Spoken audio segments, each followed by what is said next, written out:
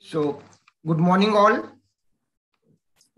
I invite you to this eighth day of the online classes being conducted for MA Part 2 English third semester for the syllabus prescribed by Rashtrasan Tukroji Maharaj Nagpur University, Nagpur, and being organized jointly by Rajkumar Keval Ramani Kanya Mahavidyalay Jari Patka Nagpur, Vasantrao Naik Government Institute of Arts and Social Sciences Nagpur, and J.M. Patel College of Arts, Commerce and Science Bhandara.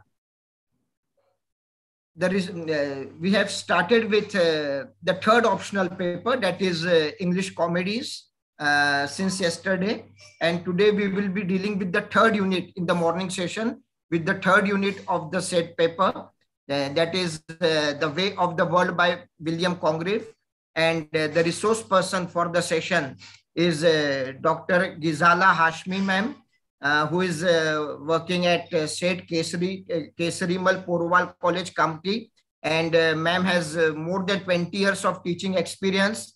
She has completed one research project sponsored by UGC, University Grants Commission, and she holds the position of CDC member as an as a woman as a women representative in her college. Madam is editor in chief of the college magazine and has organized various webinars, uh, which included the those in collaboration with uh, uh GAD, TLC, and MHRD.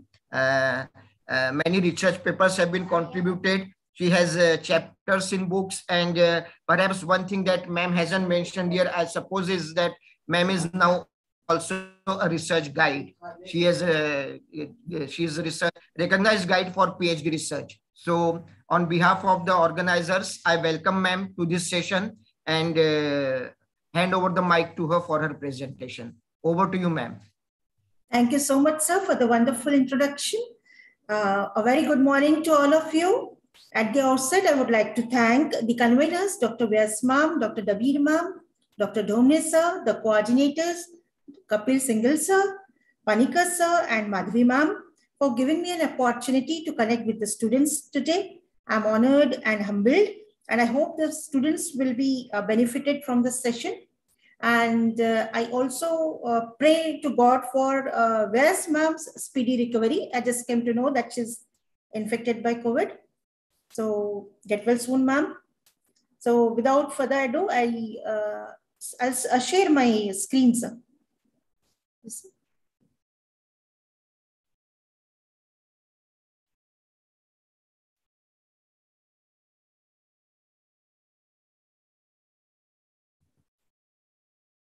is it uh, visible? Yeah, ma'am. It is being shared. Slideshow and beginning. Yeah. Yes, sir. So shall we start? Yes. Shall I start? Yeah, you can start, ma'am. Okay. So dear students, today uh, we'll be studying the way of the world, which is a bit uh, complex and twisted uh, plot in it. So I'll try to make it easy to you. Okay. So this, The Way of the World is uh, authored by William Congreve. Now here we shall uh, see initially a brief history of English drama. So uh, what happened? Initially the plays, they were started by this miracle uh, or mystery plays, morality play, then Marlowe is the father of modern drama, restoration drama, restoration comedy, the revival of the theater, the portrayal of society in restoration comedy. So miracle uh, or mystery plays, what happened? Like uh, this history of English drama dates back to the 11th century.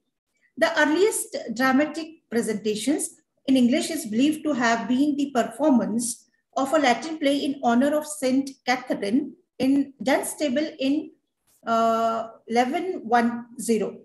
By the time of the Norman conquest, a form of religious uh, drama originating from the rich uh, symbolic ceremonial of a church had already established itself in France.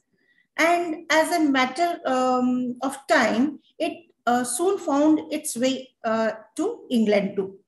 Its purpose was uh, directly didactic, Uh, and it was the work of priests who used to uh, who, used it as a means of conveying uh, the didactic or instructional messages. Okay, so the, this miracle of mystery plays like this was this form of drama was known um, as uh, what do you say didactic plays, and the material for this mystery plays uh, was drawn from the Bible, and this mystery plays expanded the mysteries connected with religion. So these are the miracle or mystery plays. Then the morality play. Morality, morality plays like this was the next stage in the history of English drama. And uh, this, like the uh, miracle play, was also didactic in purpose, but its characters, instead of being taken from the Bible or from the legend of the saints, were personified abstractions. Okay, all kinds of mental and moral qualities appeared on the stage as characters in the play, like uh, the perseverance, free will, and five senses, the seven deadly sins, good and bad angels, etc., were used like they were held a prominent position in the miracle plays. Then we come to Marlowe. Uh, Marlowe, he created the modern English drama. Uh, he was a man of fiery uh, imagination and immense uh, powers. He lived a wild bohemian life, actually. Then, uh, while still young, he was killed in drunken fight, but his uh, uh, plays like The Tamburlaine the Great, Dr. Faustus, The Jew of Malta, Edward II, uh, despite their bombast and extravagance, uh, they fixed the type of tragedy and chronicle play for his immediate successor. And uh, he was the first one to use the blank verse in his plays with great success. Now we come to restoration drama and restoration comedy. This time period uh, applied to restor uh, restoration drama is usually the period between 1660 uh, to 1700. But uh, the period extends a little more than that. William Congreve was born 10 years after the said period of restoration. He staged the way of the world when he was 30 years of age, and by the time And uh, what happened? By the time, uh, some of the most notorious features of the period had either ceased to exist or existed only in weaker form. Uh, the restoration drama grew out of the reaction against the puritanism of Cromwell and the period of Commonwealth.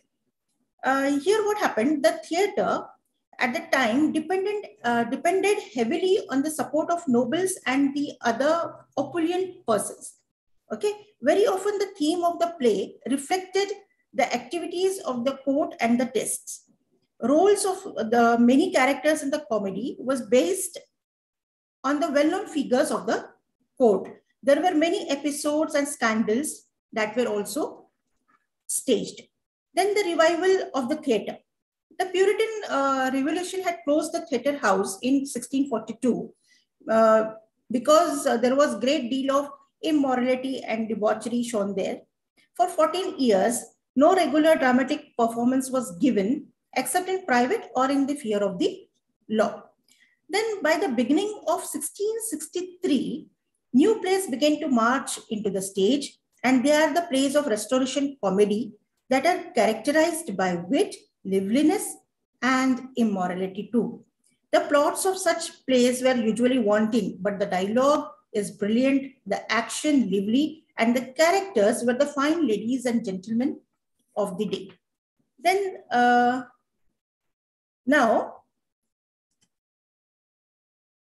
we'll have a brief introduction of William Congreve.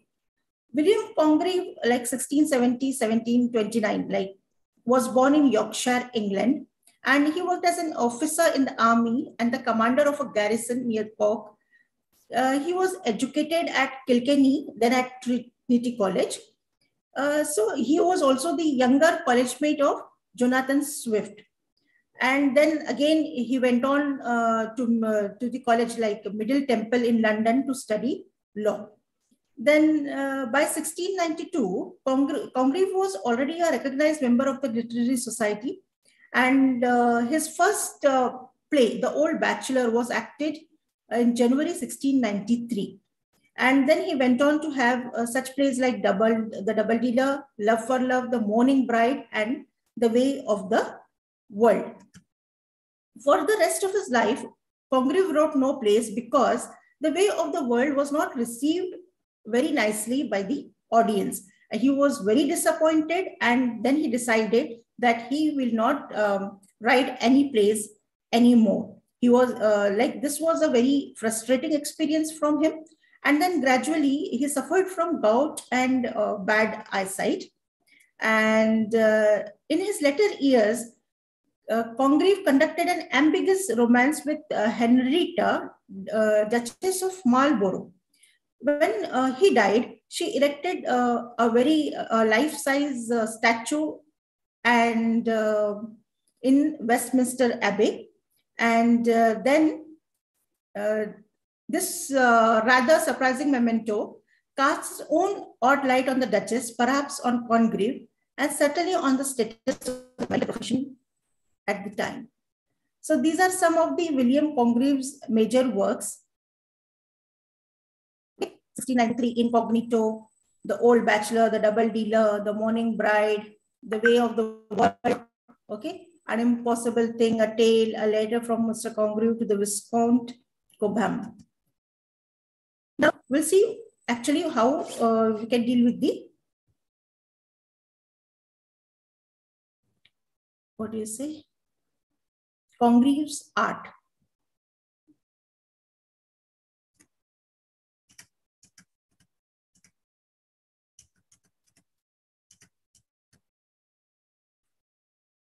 Okay, Congreve is a master of dialogue, clever, ingenious, and brilliant art style, revealing, revealing the finer uh, shades of character.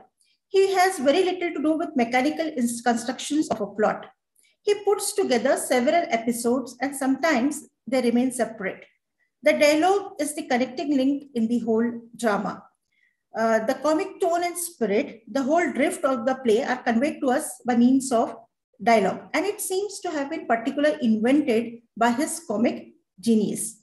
Okay, so now Congress, Congreve's style. Uh, George Meredith avers that Congreve excels all his English rivals and uh, in his literary force and a succinctness of style peculiar to him. He had correct judgment, a correct ear, readiness of illustration within a narrow range in snapshots of the obvious and he was a master of copious language.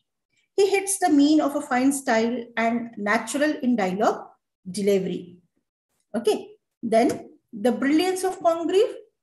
Congreve is the most distinct from the others and the most easily defined both from what he possessed and from what he wanted. He had by far the most wit and elegance, humor and character. His style is inimitable and though uh, perfect, it is the highest model of comic dialogue. Every sentence is replete with sense and satire conveyed in the most polished and pointed terms. Now, understanding the way of the world. So, way of the world, what happened? Uh, like it got a very cool reception. It was not very well received by the audience so Congreve's masterpiece, The Way of the World, which was produced in 1700, it was uh, actually written to please its author's uh, fastidious taste, not to conform to the prevailing fashion of the age. Okay, the way of the world didn't favor with the audience, and um, it is said, uh, like uh, the famous uh, critic John Dennis states, that it was hissed by barbarous fools and uh, the dramatist was so intense. William Congreve was so frustrated, so angry by this thing that uh, he said to have lectured his audience from the stage itself. Okay. Then uh, this, the way of the world, it has a knotty opening. Uh, it is difficult to understand and remember each and every relation uh, with other characters on stage as the relationship is often intricate, confusing, and baffling. There are too many characters, and the opening scene actually uh, doesn't reveal a lot about them. Then a complex plot, as just like I said before, it has a very complex plot uh, without much action.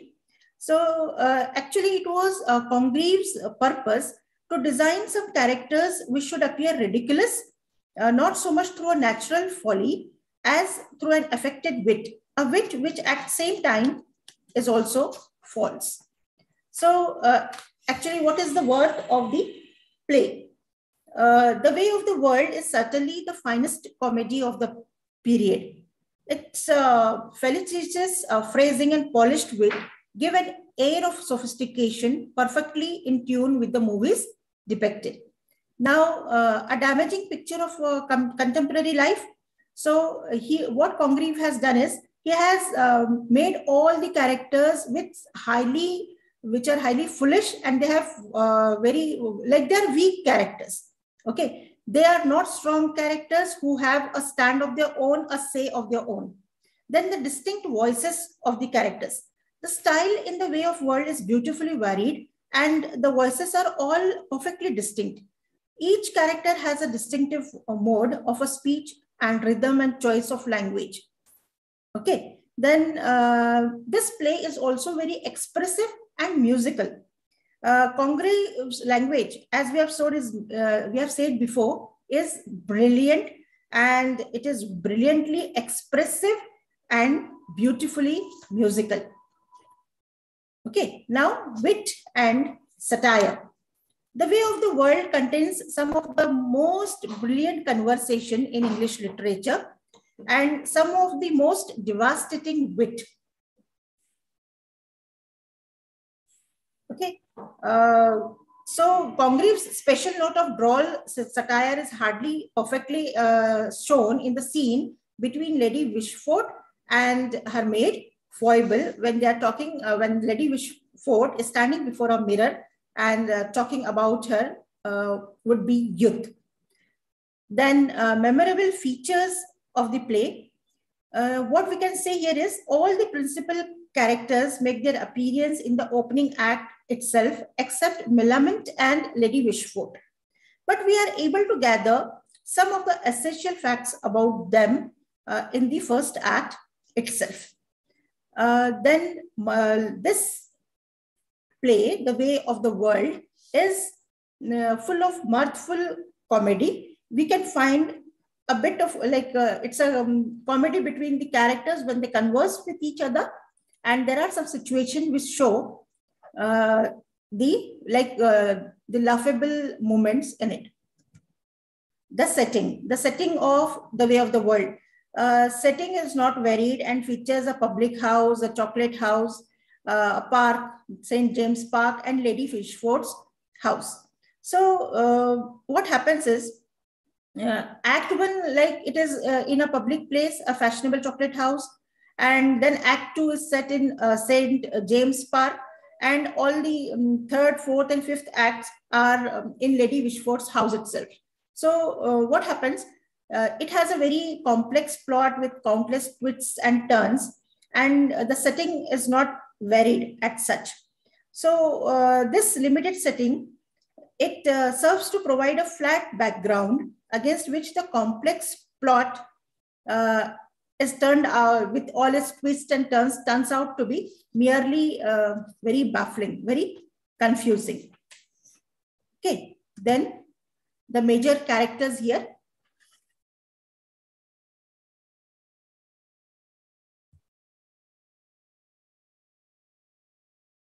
So uh, it is the Mirabel, the protagonist, who is madly in love with Millamant.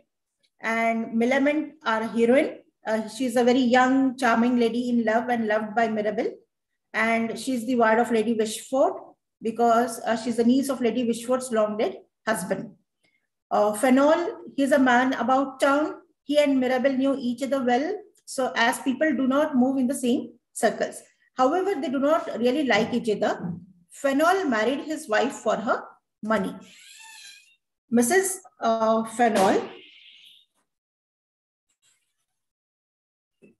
Mrs. Fainall, wife of Fainall and daughter of Lady Wishfort, uh, like uh, she was a wealthy young widow when she married Fainall. She is Millamant's cousin and was Mirabel's mistress. And uh, Mrs. Marwood, she is uh, Fainall's mistress. Uh, it does appear, however, that she was perhaps still in love with Mirabel, though. Then young Witwoud, he's a fop, and he came to London from the country to study law, but apparently found the life of the fashionable man about town more pleasant. And then Petulant, he also is a young fop, a friend of Witwoud's. His name is indicative of his character. Then Lady Wishfort, uh, she is uh, again Wishfort. She wishes for lot many better things of youth. A vain woman, 55 years old, who still has uh, pretensions of beauty. She's mother of uh, Mrs. Fainall and the guardian of Then Sir Wilful Witwoud, the elder brother of young Witwoud, He is 40 years and is uh, planning the grand tour of Europe that was usually made by young men to complete their education. And uh, then Waitwell, he is Mirabel's valet. At the beginning of the play, he has just been married to Foible, Lady Wishfort's uh, maid. He masquerades as Sir Rowland, Mirabel's non-existence uncle and woos Lady Wishfort. Then this is Foible. Uh, she's uh, Lady Wishfort's maid, married to Waitwell. Mincing is Millamant's maid. Peg, a maid in Lady Wishfort's house. Now this play, like uh, it had a, a dedication. Uh, in this dedication, as in most others of the period, uh, we may ignore the fulsome praise of the man to whom it was addressed. That praise is a convention of the time. Uh, some of the comments meant in the letter, however, are of interest. Congreve was obviously uh, chagrined at the uh, play's lukewarm reception and attributed it to the coarse taste of the audience. So uh, it uh, ridiculed him so much. He was so much upset by this uh, lukewarm, uh, what do you say, reception that he never wrote another play after that. He gave up writing the plays. Now, prologue to the prologue to the, what do you say, the way of the world. The prologue was a, a conventional requirement for all plays. This one was delivered at, by the 65-year-old Betterton, the grand old man of the restoration stage. Congreve did not keep the promises he made in his prologue. Okay, he swears he will not resent one hist of um, scene, nor like those peevish wits his play maintain, who to assert their sense your taste errand. Uh, the dedicatory letter indicates that he did not arrange the taste of his audience because it did not approve his play although his scenes were not hissed. Okay, and uh, his statement about what is in his play has more value, some plot, some new thought, some humor too, but no farce. Uh, the absence of which he adds, ironically, would presumably, uh, presumably be a fault. The statements that there is no satire because the town is so reformed and that there are surely, surely no knaves or fools in his audience are of course ironic. Then now summary uh, of each play, like each act. Uh, will first, I'll give you the summary of the act and then we'll also make an analysis of the same. Okay, now what happens? The curtain rises as Mirabel uh, is uh, defeated by Fainall in a desultory card game at the chocolate house. The conversation reveals that uh, Mirabel is in love with Millamant, but is intensely disliked by Millamant's guardian. Uh, Lady Wishfort's dislike seems to have some justification. Mirabel at one time pretended to court her in order to conceal his love for her niece. She is 55 years old and her vanity was offended when she discovered that Mirabel did not love her. Uh, when Fainall leaves for a moment, the servant, a servant enters and informs Mirabel that his valet married that day. Mirabel is pleased because his marriage is a necessary prelude to some secret scheme which is not revealed as such. Uh, Witwoud and Petulant then enter and we gain the additional information that Witwoud's elder brother is coming to town to court Millamant. Witwoud and Petulant are also both courting Millamant, but only because she is currently the reigning belle. There is uh, further talk of an uh, uncle of uh, Mirabel's who is coming to court Lady Wishfort. The men leave for a walk in the park. So this is the summary of the Act 1. Now, if we look at the analysis of this Act 1, uh, see, the summary of this Act, it points uh, up one of the difficulties in the structure of the play. The first act does not, does not seem to move forward.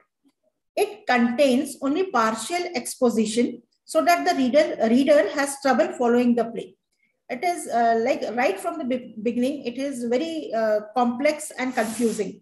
The relations uh, between Mirabel and Fainall are not made clear. It would be the actor's task to suggest the strain between them. Uh, the skilled and we might say suspicious reader may glean as much for, from the lines.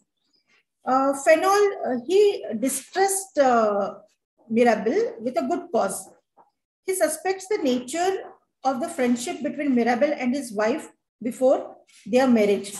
He also suspects that his mistress, Mrs. Marwood, loves Mirabel. Mirabel uh, is aware of Fainall's suspicions and of course suspects that Mrs. Marwood is Fainall's mistress. When Mirabel says that for the discovery this for this amour, I'm indebted to your friend or your friend's wife, Mrs. Marwood. The actor will put on emphasis or your wife's friend so as to suggest that the innocent com comment is barred. Uh, in this uh, act uh, one, like the lines to be, uh, uh, like they, they demand to be read carefully. The talk about Lady Wishfort is not merely casual. She is very important in the subsequent action. The comments about Millamant's character are highly important. Despite Mirabel's uh, wit and irony, we must realize his sincerity. The speech uh, beginning, I like her with all my faults, is highly ironic, yet thoroughly convincing admission of love. And then these two characters, Witwoud and Petulant, are a pair of fops and false wits that abounded in restoration um, comedy. Uh, restoration London, or at least in restoration drama. Uh, they have no part in the action of the way of the world, uh, at most. They serve uh, to suggest Millamant's train of suitors and uh, uh, petulant comes closer to the kind of characters one observes in the plays of Jonson. The foppishness of both characters can be reinforced by the arts of the by the actors. Okay, so this was the summary and analysis of Act 1. Now going to the summary and analysis of Act 2.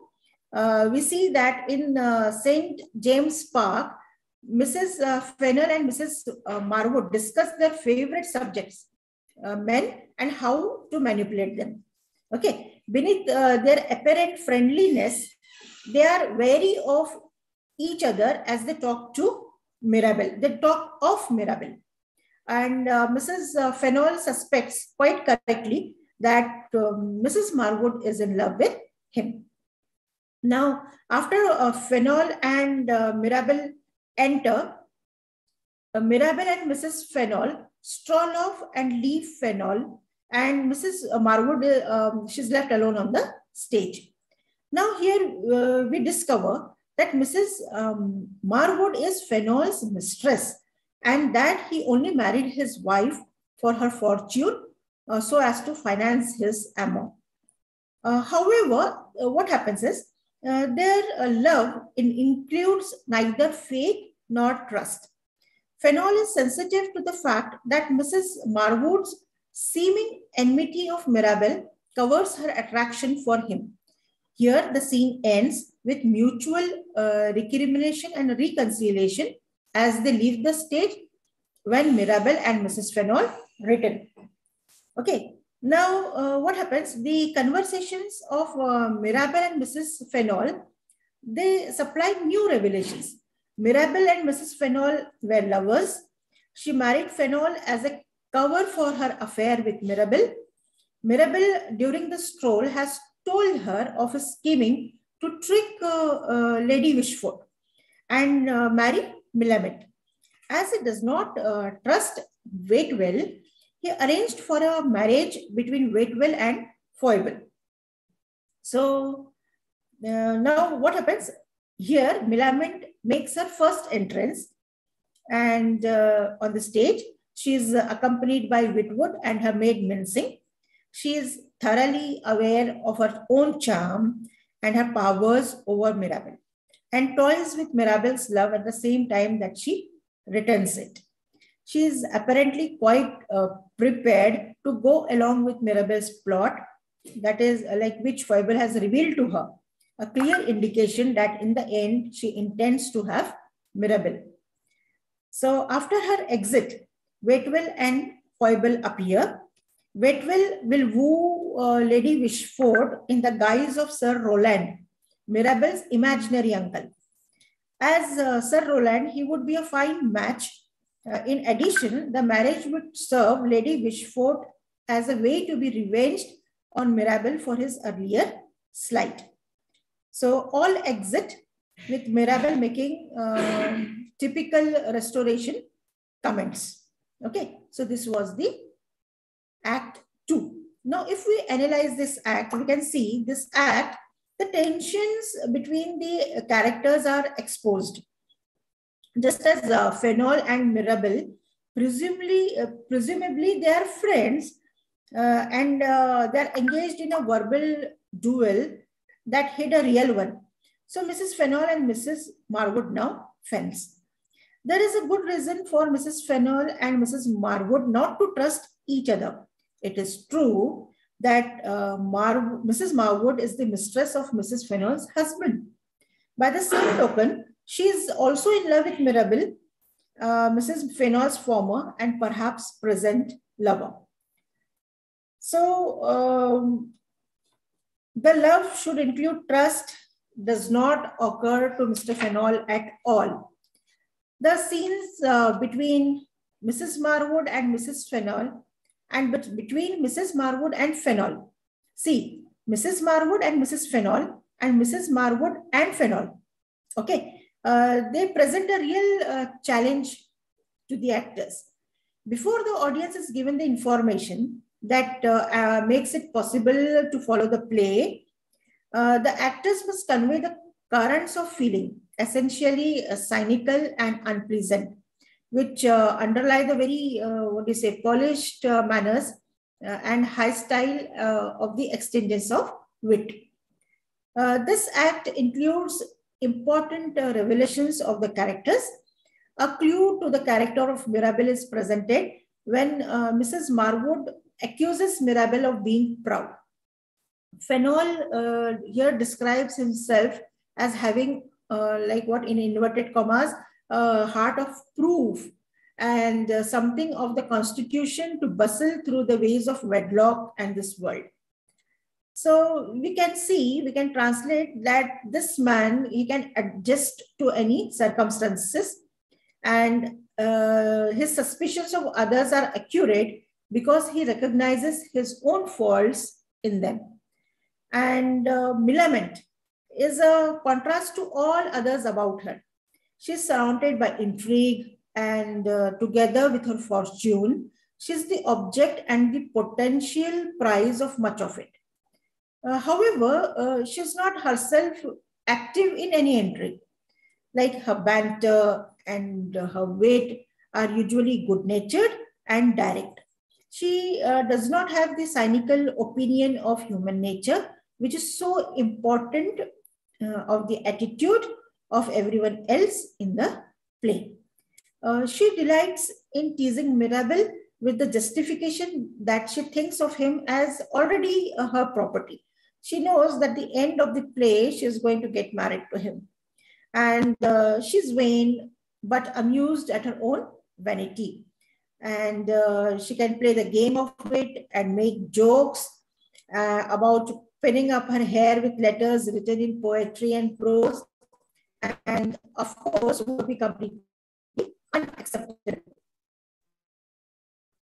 and uh, she is that type which can be presented on the restoration stage and she is without question the most successful of her kind. But in this act, you see that the last story of Mirabel and Lemon differs from what might be accepted, uh, expected actually. Uh, loss, the male has to overcome the unwillingness, dislike, possible reluctance of the other party. But here, in the way of the world, all the problems connected with the love affair are external. Uh, is, uh, there any feeling that these two uh, are not enough. Lemon postures, prints, and teases. It is fun to be desired and be desired. But these lovers have no internal conflicts. So now, summary analysis of Act 3. Uh, at her uh, home, now the first act was in the chocolate house, the second uh, act was played in St. James Park. Uh, now the third act is in Lady Wishfort's house. So at her home, Lady Wishfort is uh, trying to hide the signs of age with cosmetics applied externally and taking brandy internally. Uh, Mrs. Marwood enters and uh, tells her that Foible was taking to was talking to uh, Mirabel in the park. While uh, Mrs. Marwood hides in a closet, Lady Wishfort taxes Foible with disloyalty. However, Foible takes advantage of this opportunity to forward Mirabel's plot. She says she's, he stopped her only to insult Lady Wishfort, who therefore determines to accept Sir Rowland, Rowland due to arrive that day. Unfortunately, after Lady Wishfort leaves, what happens? Uh, Mrs. Fainalls enters and she and Foible discuss Mirabel's scheme. And uh, Mir Mrs. Mirawood, uh, Marwood, uh, she's still hidden, overhears their conversation.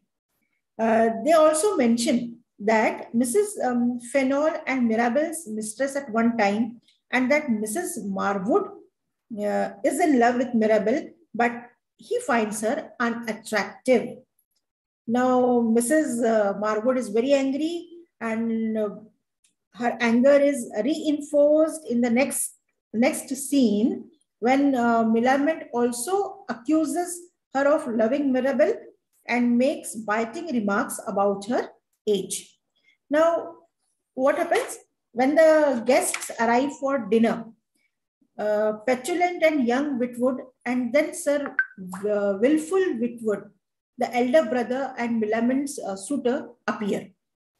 Uh, in this scene that perhaps comes closer to a farce than any other in the play because Sir Wilful does not recognize his foppish brother and young Witwoud refuses to recognize his country bumpkin elder brother. Okay. Then uh, afterwards, Mrs. Marwood, left alone with Fainall, describes Mirabel's plot. He is certain now that he has been a cuckold and wants revenge. Okay. Now, uh, Mrs. Marwood then outlines a plan for Fainall. Since Lady Wishfort has control of Millamant's fortune, and since she's very fond, fond of her daughter, Mrs. Fainall, he can insist that Millamant's money uh, be made over to him uh, as a threat of making public his wife's transgressions. So this is Act 3. So if we analyze this act, we can see that uh, Lady Wishfort is a stock character of restoration drama. And uh, this older woman is eager to entrap her husband uh, and it has always been a figure of fun for her. But that is not to say that she has no, uh, what do you say, individuality. In the last uh, three acts, Congreve devotes more attention to her character development and gives her more lines than any other character. She is eager to be wooed, but uh, would not seem to pursue. She uh, would be forward, but not too forward. Uh, she's uh, she dare not smile or frown, for the paint might crack. She is heavily painted to make herself look young, and uh, she is concerned about appearances. Uh, and we can see that she is a sort of um, hypocrite and uh, Lady wishfort we can see, uh, is in every way worth watching. She is uh, obnoxious, laughable, a bit vulgar, a little um, disgusting, and sometimes oddly pathetic. Okay, she uh, craves for friends, but with amazing consistency, she invariably puts in uh, people who betray her. Okay, and foible here we see uh, for typical comedy um, lady's maid, represented perhaps by mincing. She is an allegedly agile young woman and knows all the intrigues in the Wishfort household. She is aware of the passages um, between Marwood and Fainall and the passages before that between Mrs. Fainall and Mirabel. She is indeed the key to all the matters. Foibles that Mrs. Marwood has a one's mind with all its insulting connotations is a key phrase in the development of the play. So Mrs. Uh, here uh, in the scene between young uh, Witwoud and Sir Wilfull, some of the incidental values of the play are made clear. Uh, Witwoud's witticisms are, after all, clever and Sometimes they are apropos to it. Up to the scene, the fact that he has, uh, as Mirabel uh, says in Act 1, some few scraps of other folks' wit has to be brought out by the actor in his portrayal of the character. However, his treatment of his brother is not that of the restoration gentleman who might deplore Sir Wilfull's crudeness but would never try to deny his brother we have seen that he refuses to recognize his brother when the guests arrive for dinner. And uh, we see that Sir Wilfull is a stock of uh, restoration comedy uh, country bumpkin. He displays a common sense and forthright honesty that makes him appear for the worthier of the. The last scene here between methanol indicates clearly the direction of the play for the two following acts. The contract opposed to the plot of the hero here is now set up.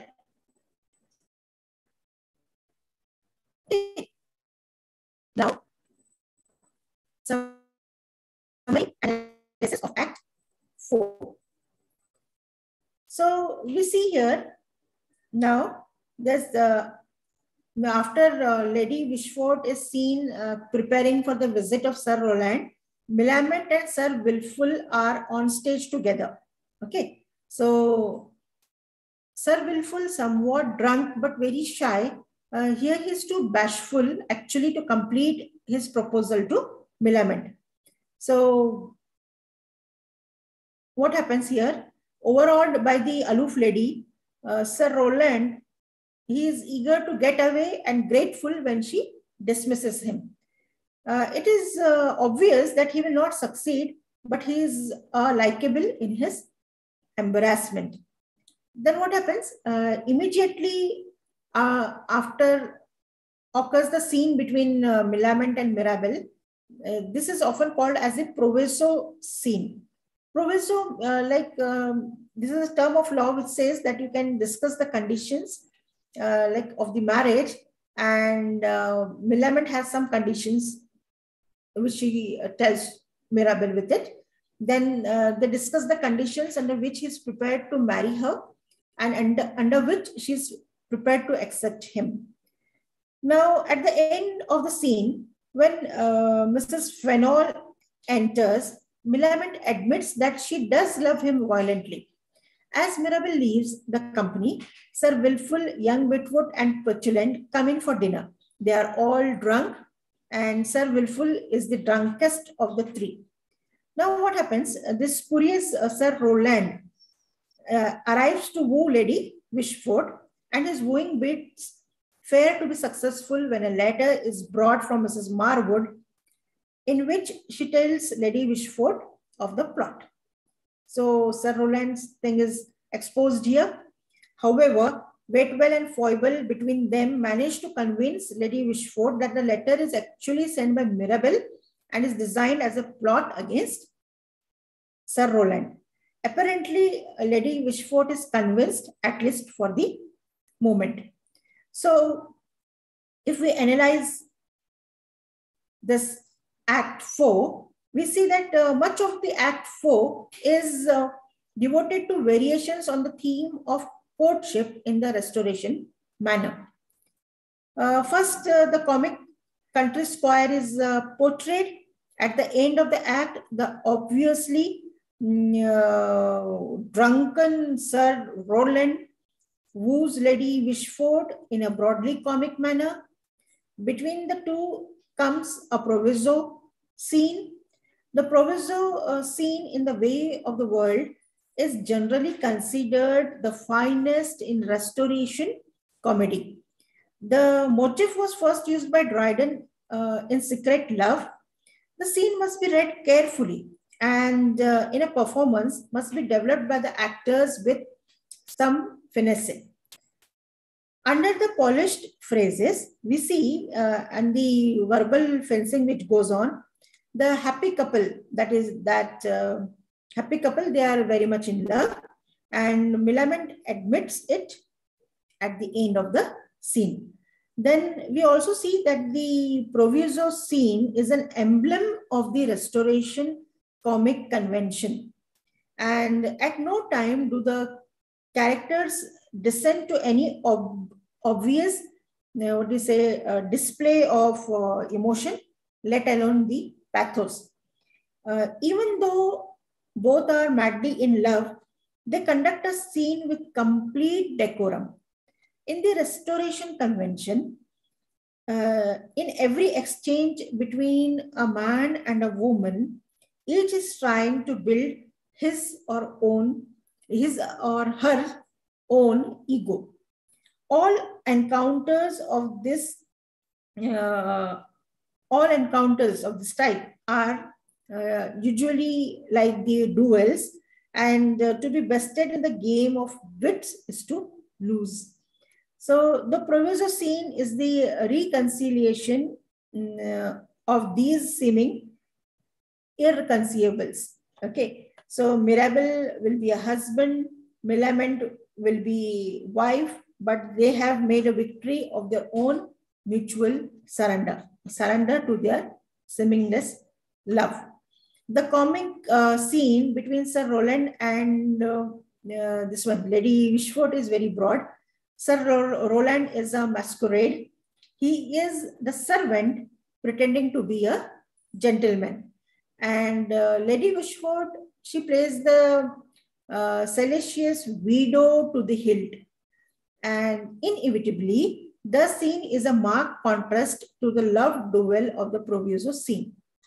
Okay, so this is the complete summary and the analysis of Act 4. Now, coming to the conclusion um, of the Act, like that is Act 5. So here we see the scene as before. Again, it is Lady Wishfort's house. As I said, all the scenes from like third, fourth, and fifth, they have uh, they are taken place in Lady Wishfort's house itself. And uh, Lady Wishfort has discovered Mirabel's plot, that also we know. And Foible tries unsuccessfully to make excuses for herself. Fainall now makes his demands.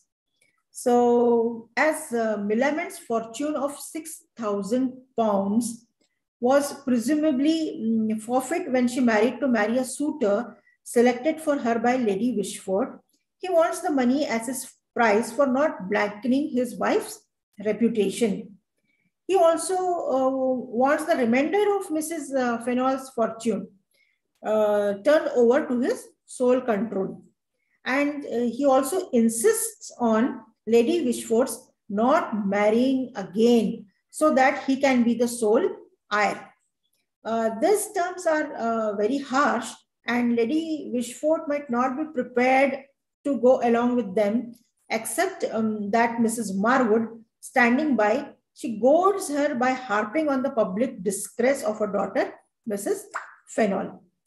So when uh, the two maids now reveal that Fainall in his turn has been unfaithful to his wife, he refuses to be deterred. Uh, he is willing to be the subject of scandal himself, but he will still make public his wife's shame. And uh,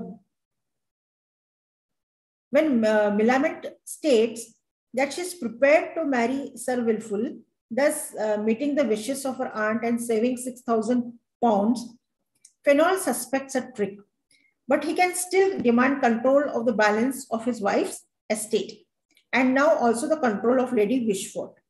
At this point, uh, what happens? Uh, Mirabell, he presents the evidence which will protect Mrs. Fainall. At the time of her marriage, they had judged Fainall's character correctly. And uh, Mrs. Fainall secretly signed over her fortune to Mirabel's control. So now this is a great twist in the play. And there is therefore no money which uh, Fainall can successfully obtain. In great anger, now uh, Fainall and Mrs. Marwood leave the stage, vowing, uh, dire uh, vengeance. So Lady Wishfort, having discovered that Fainall was a villain and that Mrs. Marwood, her friend, was not a true friend, is now prepared to forgive Mirabel. Uh, now can marry him with her aunt's consent and uh, it is on this happy but somewhat indeterminate note that the play ends. Okay, so we have a happy ending here. So the analysis of the act five, like it goes like this uh, fifth act is a bit muddled. Okay, uh, there is far too much plotting and action. Fainall comes in uh, with his demands.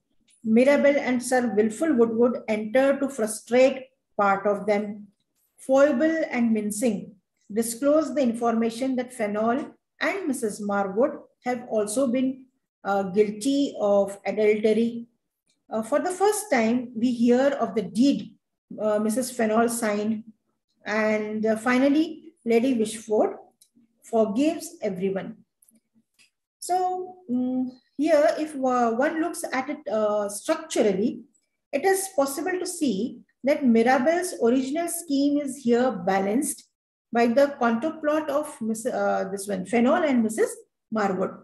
They in turn are foiled by foible and mincing on the one hand and by Millamant's presumed willingness to marry Sir Wilful on the other. But we see uh, what happens is uh, these developments are then um, countered by Fainall's insistence on the balance of Mrs. Fainall's or balance of Mrs. Fainall's money. And this mu uh, move is conclusively countered by Mirabell's producing the deed signed before Mrs. Fainall's marriage. And uh, this is sort of a uh, anticipation of Fainall's greediness and she did it to protect herself if such a situation would arise. And uh, Lady Wishfort in this act, however, becomes um, almost a sympathetic uh, character. Her faults and her vanities are many. But here we see her trying to protect her daughter, finding that people whom she trusted have proven completely treacherous. Caught on the one hand by desire to save those whom she loves and trapped by the treachery of those she trusted, she is an odd figure in a very unusual sense, uh, situation in restoration drama. the ending of the play is not entirely uh, satisfactory. Uh, for one thing, one is finally left with the question, what of Mrs. Fainall? She will retain her money, but her lover is lost to her, and it is not entirely clear that Fainall and Mrs. Marwood will not find some rather unpleasant revenge because the play has ended with a happy note and there is no revenge uh, dictated there. Then uh, we come to the epilogue. So spoken by Mrs. Bracegirdle, who played Millamant, the epilogue only makes conventional points, the essential inadequacy of critics who decry plays uh, without knowledge, and the statement that the characters are fictitious and no individual is represented. Uh, the satire is universal. So poets of do in one piece expose whole belles assemblies of pockets and blocks. So now, dear students, we come uh, to the character analysis. So the major characters. So Mirabel is the first one, who's the protagonist. So Mirabel, we see uh, he is the ideal uh, restoration uh, person, Beau, and a combination of the cynical and the gracious. He has the vices and virtues of his kind. In his day, he has been a successful woman chaser.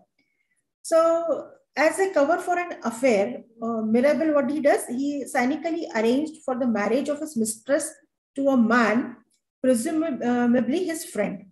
So, uh, and what he did, he also um, flattered Lady Wishfort, for whom he feels contemptuous amusement. He uh, devises a plot that would blackmail Lady Wishfort into consenting to her ward's marriage. But uh, even after all this, um, his scheming and planning, we see this, the character is made acceptable even from the point of view of a generation that disapproves. Mirabel handles the situation with dignity and the style of his period. The irony in his comments on other uh, yeah, I'm sorry. So the irony, uh, what happens uh, in his uh, comments on other people reveals his common sense. Uh, his judgment of uh, Fainall is ruthless, but it is clear-eyed. Then we also see that his comments on young Witwoud are very shrewd and accurate. And it is worth observing that he directs uh, little irony against Sir Wilful Witwoud. And on the other hand, his ironic uh, self-criticism leads him to realize that he is indeed in love with Millamant. In the play, uh, we are most interested in Mirabel as a lover. He never loses his control despite provocation in his affair with Millamant. He laughs at himself but his speech indicates the depth of his feelings. He accepts Millamant's mischievous uh, mistreatment with some resentment, but uh, uh, he still manages to remain the polished courtier.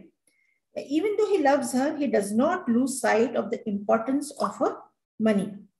His love must be seen with the context of the play. Neither he nor Millamant can sink into any sentimental act or mood. The depth and sincerity of the emotion must be conveyed by the manner, which is a necessary part of the ideal gentleman. He is in love, but he is still the completely accomplished gallant. Now we come to the heroine of the play, Millamant. Millamant is generally considered to be the most charming heroine in restoration comedy. She is a fitting partner, a perfect antagonist to Mirabell. She maintains uh, the same control to the very end of the proviso scene. She too loves but shows no sentiment. She is airy, teasing, light, beautiful, tantalizing, and infuriating. Uh, Mirabell is aware of her faults and comes to love them. So mm, uh, we also see that uh, Millamant is affected, coy and arch, but we would have no other way. She can be sweet and charming, but there can be um, acid and irony in her wit. Millamant, uh, what happens? He appears uh, significantly, uh, significantly in five scenes. And her first appearance, her dialogue with Mrs. Marwood, her son uh, scene with Sir Wilful, the proviso scene with Mirabell, and the drunken scene immediately following. The first and fourth are the most important for revealing her character. Millamant's first appearance is prepared um, very carefully. When she arrives, uh, trailing her coat, mincing and young uh, Witwoud, she automatically takes the center of the stage as if it is her right, as indeed it is. Her character is outlined in the passage about putting up one's hair. Prose would never do only poetry, uh, a piece of flippancy in which mincing immediately abates her. So we see that uh, the she's completely sure of her uh, fem feminine powers and Congreve has given her the lines to justify her assurance. She knows her power and can laugh at herself just as she can tease Mirabell. Uh, within the limited world where she operates, she is intelligent. And uh, we can see that uh, she sees through the forced false wit of young Witwoud, uh, young Witwoud's humor, and handles him very gracefully and efficiently. Then above all, Millamant's character is Millamant in love she and Mirabell are worthy partners. She too will not admit her love for him, for to do so would give up one's position of vantage in the game. Okay, so this is uh, here in Millamant. Now, Fainall. Uh, in two uh, speeches, Fainall is characterized by himself and by Mirabell. Fainall describes himself in our terms as an opportunist, a man who can veer with the winds of circumstances. Mirabell describes himself as uh, a man on the fringes of respectability, a man who is almost acceptable. Uh, to these two complementary uh, descriptions, we must add another quality that Fainall's intense suspicion. He is very suspicious of nature and he distrusts his mistress uh, as naturally as he breathes. He distrusts everything Mirabell says. And he also assumes that Mirabell is lying. And uh, he looks at the snide implications of his words and tries to do justice there. Uh, the one uh, disreputable, dis, the one uh, disreputable act, we can say, we can uh, attribute to him is before the play starts in his marriage. The fact that he married for money can hardly be held against him in his society. But to marry for money to finance a lover's affair is most difficult to accept.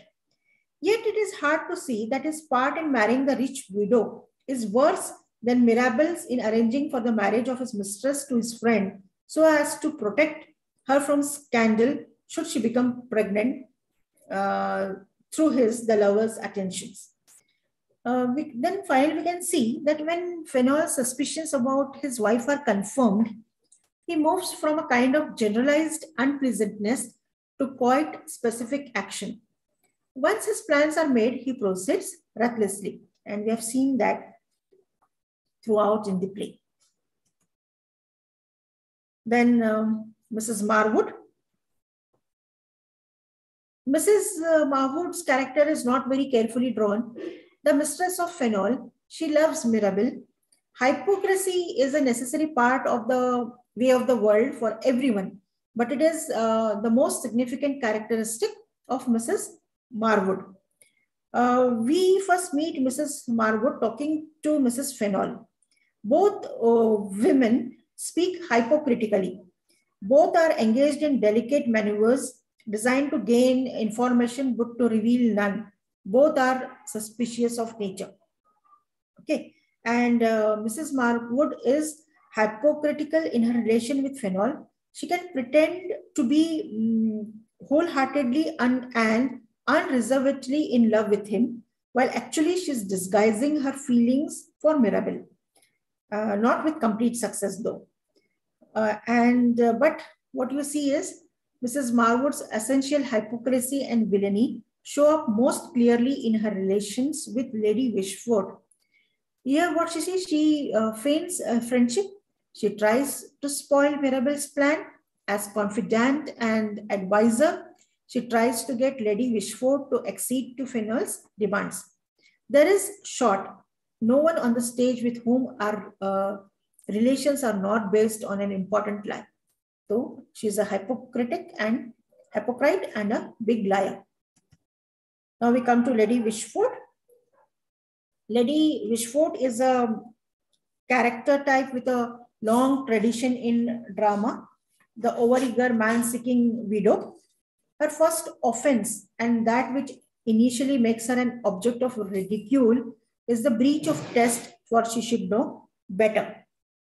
Uh, she is first described by uh, Mirabell, who points out that her uh, character is defined by the tag name Wish and Fort, Wish Fort. And she's 55 years uh, of age, an age that certainly seemed um, very old to the precocious and brilliant 30 year old whose play was being produced. Uh, she's also the character with most lines in the final acts of the play. So we see that Lady Wishfort's vanity is made clear from the very first we see her she misinterpreted Mirabell's flattery, which he describes in the first act. In the third act, the picture of Lady Wishfort at her toilet ridicules the woman who does not accept the fact of her age gracefully. Her indecorous interest in men as part of her character and important uh, for the action. It is the reason she can uh, we can say that uh, she misinterprets Mirabell and the reason Mirabell can uh, hope that she'll be married to Millamant, he'll be married to Millamant one day. Uh, the one uh, disreputable act that can be seen is she considers himself as young and stands in front of a mirror and examines her beauty uh, as a woman who controls considerable wealth, she's accustomed to having her own way. Uh, she is abrupt and tyrannical with her maid. Her, she plans her ward's marriage. Uh, it is clear she does not like to be crossed and does not expect to be. Uh, Congreve has proved this character further. Her vanity and man chasing both have a common source. She lives in a world of fantasy like I've said before, uh, she keeps looking into the mirrors constantly, but does not see what everyone else sees. In her mind, she can still be a little girl of 16 or a beautiful young woman. She is therefore especially susceptible to flattery, but there is no touch of good sense to help her see through it. And uh, we can see that uh, because of her susceptibility to flattery, uh, her friends are always ill-chosen. Uh, and in her uh, dilemma in the last act, she is left bewildered and helpless. Uh, she is a um, sort of complex creation of Congreve, uh, the butt of authors' satire and actors' ridicule, yet the object of some kind of painful sympathy. Okay. Now, Sir Wilful Witwoud, the uh, what do you say, the elder brother of young Witwoud. He is the country bumpkin as the butt of the city wit, is a traditional character type in comedy. Like other characters in the play, Sir Wilful does not quite conform to type. He is shown as having country manners. He drinks too heavily. He's very shy and he's overawed by the uh, ladies of the city. And uh, he is uh, justifiably angry in his encounter with his brother. His attitude in other matter, matters suggests a sensible person, but certainly does not wish to marry Millamant if she does not choose. Okay. Then young Witwoud, uh, he had uh, also come to London uh, from the country to study law. and he took to London uh, life enthusiastically, but not always wisely. He thinks of himself as uh, very witty and intelligent, but uh, his judgment is not sound. He serves as a, as a contrast to Mirabell, his uh, the false picture, the affectation of the restoration ideal. So what Mirabell says about him, that he is a fool with good memory and some few scraps of other folks' wit petulant is best characterized by his name. Obviously, as young Witwoud uh, is excessively good-natured, not even recognizing an insult, petulant is ill-natured, too eager to prove himself by ill manners. And he too, like young Witwoud, is a pretender to status. He is a liar uh, and a poser. He's an uh, interesting specimen in what he talks of having a humor. But uh, we see that the sure sign that is affecting the humor, although it may by long use have come to me to be by Congreve's distinction, a certain habit of his. Then wait Waitwell, he's the valet, he's very clever, and uh, he has some wit uh, of some accomplishment, is married, knighted and attended all in one day. And as uh, Sir Rowland, he performs well, but must perform as a bullocks of the gentleman. It is uh, one of the conventions of the drama of the time that the servant will try uh, to model himself on his master. He is therefore by an awkward imitation of Mirabell, only Lady can be taken by him. Foible uh, is obviously a very intelligent young woman, and like all servants, she is uh, presumably eager to play the go-between, and uh, we can see that her loyalty is only for herself, and she's not clearly trustworthy. And uh, Mincing, uh, a pale attempt to copy her mistress, and she can second Millamant's statement that is impossible to put up one's hair in prose. So Mrs. Fainall, Mrs. Fainall has important functions in the play. She's the mainspring uh, in Fainall's counter plot. When she's made of Mirabell's plot, she talks too freely with Foible and is overheard. She helps uh, fill out the gallery of portraits and uh, she's not a very well-drawn character, but perhaps uh, it is easier to see why Mirabell tired of her than why he ever loved her in the first place. Okay. Now, the themes in the way of the world. So the first theme is love a la mode. So certainly we can see here, the play can be seen as a dramatic uh, representation uh, of varieties of love in the England of the year 1700. Central is the delicate handling of the love game as played by Mirabell and Millamant. They represent the ideal of the restoration attitude, intense yet balanced. Their love based on mutual esteem with no surrender of individuality. Contrasted with it are Mirabell's earlier and quite ambiguous love affair with Mrs. Fainall, the illicit love of Fainall and Mrs. Marwood, presumably passionate but wholly without mutual trust.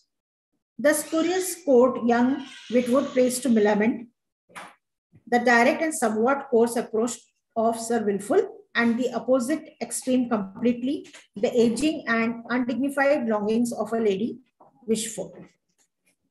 Then love and money. Such an approach is closely related to that of love a mode, although they are not identical.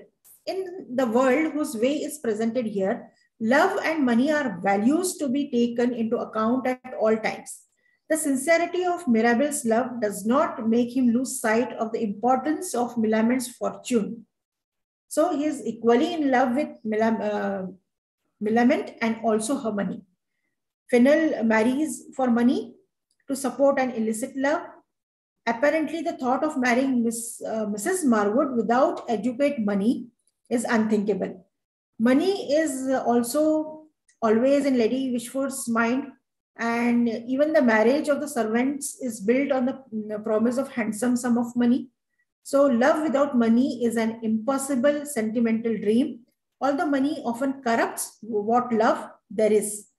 Then a gallery of portraits. We have seen lots of characters. So Congreve statements in the dedication, the prologue and the epilogue suggest that this might be a valid subtitle.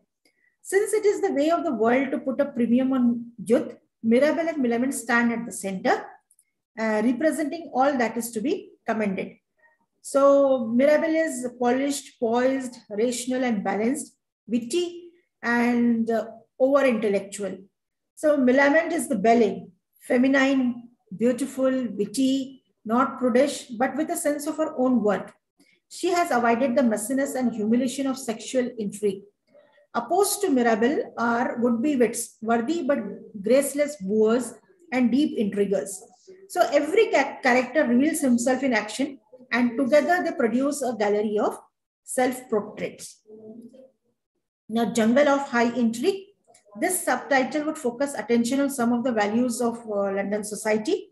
Here, everyone is engaged in intrigue. Mirabell intrigues to gain consent to his marriage from Lady Wishfort, and this involves intrigue within intrigue, for he does not trust Waitwell. Fainall intrigues in turn. Everyone is involved in one or the other of the schemes. Mrs. Fainall, Mrs. Marwood, and the servants also. Even uh, Lady Wishfort, in her willingness to marry Sir Rowland, has a devious purpose, that is revenge on Mirabell. When Mrs. Fainall married her husband, that was part of an intrigue, as was his marriage to her. And as we see in the play, victory goes to Mirabell not because of his virtue, but simply because he's the most successful intriguer. So, the way of the world, we can see now the further points for consideration. Uh, the love expressed in the play tends to be centered on material rather than the love of the partner. They are more uh, behind the money, uh, the more, um, what is a financial uh, material gains rather than the love of a person.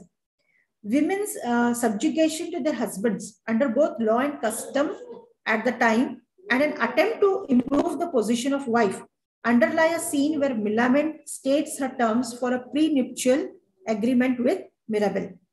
So then we can also see that none of the characters in the play can really be seen as good. And such it is difficult to find a hero or heroine or indeed anybody whom one would find deserving of sympathy or good behavior, action and temperament. So we all know that uh, what the way of the world was played uh, in the theaters. So these are the personage dramatis. These are the people who played the roles of the characters in the play. So thank you so much.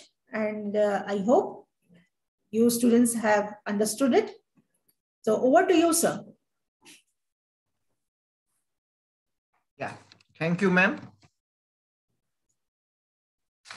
ma'am uh, started with uh, a very, uh, what I should say, a statement that every teacher should make regarding uh, the complexity of plot and uh, she promised to students to make it simple and that is how a teaching should be we have to make it as simple as possible for the students so uh, starting with that statement ma'am gave us a brief description uh, a brief introduction to the uh, history of English drama and uh, even a background to William Congreve. A biographical note was there and his major works along with his art and style, they too were commented upon. And then the different relations that we have in, in the play, the way of the world, the relation among the characters and the setting of the play uh, with this background.